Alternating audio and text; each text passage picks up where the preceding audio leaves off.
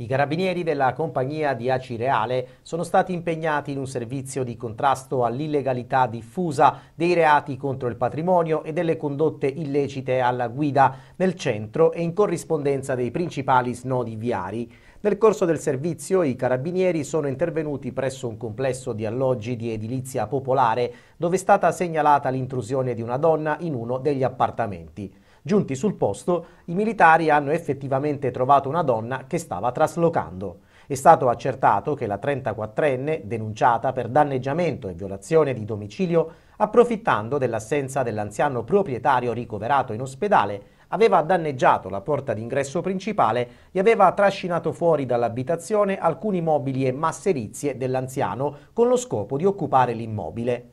Nell'ambito dei controlli alla circolazione stradale, i militari dell'Arma hanno denunciato per guida in stato di ebbrezza un 25enne di Acireale sorpreso alla guida della propria autovettura con un tasso alcolemico nel sangue superiore al consentito. All'esito delle diverse perquisizioni effettuate durante i controlli, due giovani del posto sono stati trovati in possesso di piccole quantità di marijuana e sono stati pertanto segnalati quali assuntori alla locale prefettura.